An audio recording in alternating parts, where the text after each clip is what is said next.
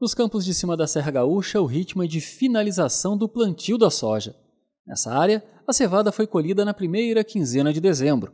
Os altos índices de chuva no estado atrasaram ainda mais a semeadura da oleaginosa. Porém, com a escolha de materiais e manejo adequado, a produtividade média da área deve ficar em patamares elevados, explica o agrônomo Christian Richetti. Essa aqui é uma das nossas áreas de produção.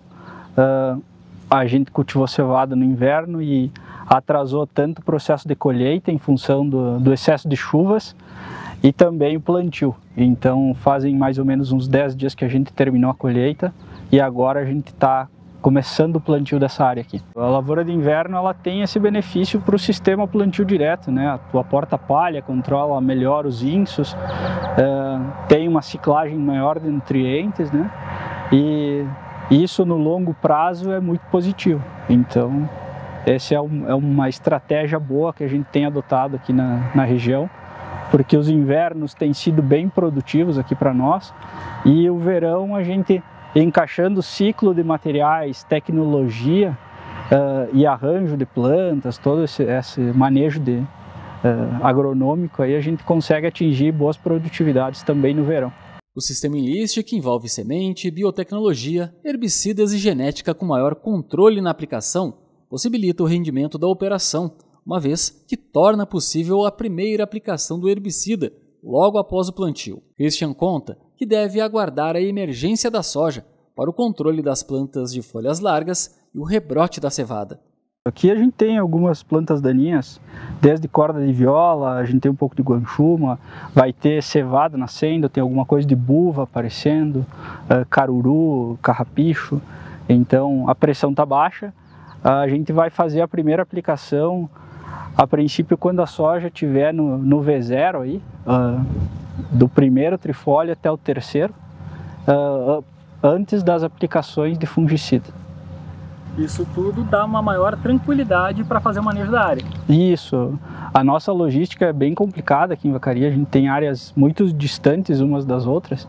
Então, muitas vezes a gente não tem uh, perna para chegar no, no momento ou conseguir dar todo o giro. Então, essa tecnologia permite que a gente plante e depois aplique com maior segurança, tendo uma lavoura limpa até o final.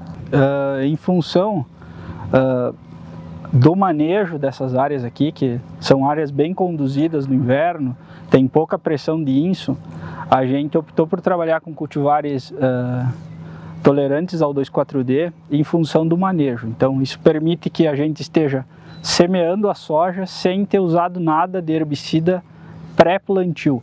Essa área aqui vai ser usado herbicida pós-emergência da soja, uh, permitindo reduzir uma entrada na lavoura. A tecnologia Enlist está em expansão no sul do país. Tanto que na fazenda Rara Agrícola, esta é a segunda safra com a nova tecnologia.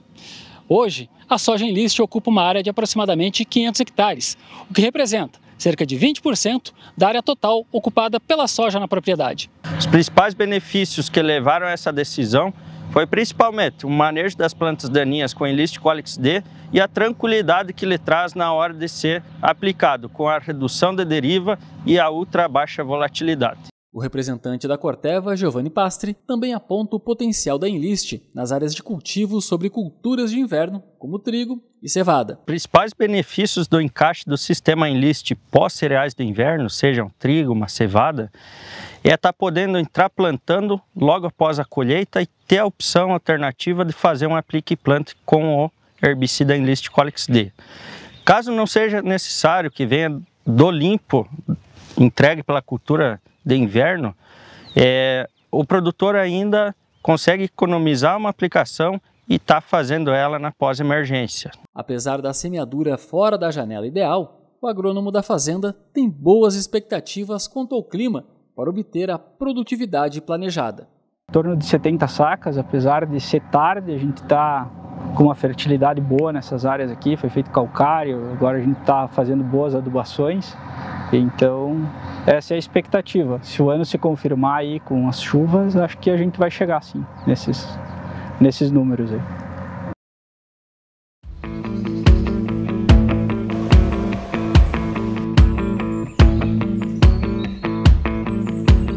Atenção, produto perigoso à saúde humana, animal e ao meio ambiente. Uso agrícola, venda sob receituário agronômico. Consulte sempre um agrônomo. Informe-se e realize o manejo integrado de pragas. Descarte corretamente as embalagens e os restos dos produtos. Leia atentamente e siga as instruções contidas no rótulo, na bula e na receita e utilize os equipamentos de proteção individual.